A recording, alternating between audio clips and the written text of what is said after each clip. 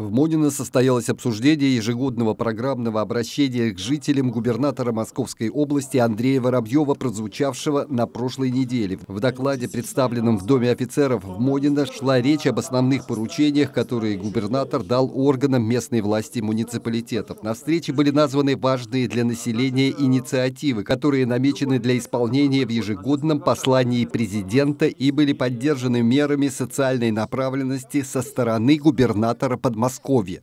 В планах реализации поручений президента Российской Федерации с 1 сентября ученики с 1 по 4 класс будут получать горячее питание бесплатно. Важная мера поддержки в сфере социальной политики будет оказана семьям, нуждающимся в улучшении жилищных условий. Если в семье родился первый ребенок, начиная с января текущего года, то при покупке квартиры в новостройке ставка по ипотеке будет снижена на 3%.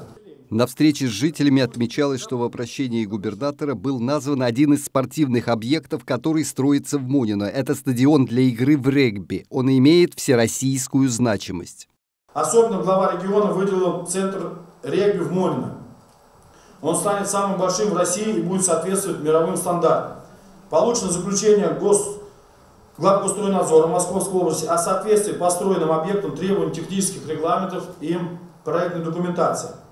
На встрече отмечалось, что на этом объекте уже оборудованы восточная трибуна, игровое поле, инженерные сети, котельная, трансформаторная подстанция, здание входной группы, локальные очистные сооружения и КНС. Второй этап строительных работ планируется завершить к октябрю 2020 года. На встрече жители задавали вопросы по содержанию внутридворовых территорий, размещению парковок, обслуживанию жилого фонда, а также обсуждали и просили обратить внимание на имеющиеся проблемы главная из которых – необходимость создать для проживающих в Монино, речь в первую очередь идет о молодых людях, дополнительные рабочие места. Об этом говорил в своем выступлении председатель Совета ветеранов Монина генерал-майор Алексей Сиражим. Одновременно он указал на разительные перемены к лучшему, которые произошли в бывшем военном городке, где проживают семьи известных на всю страну авиаторов.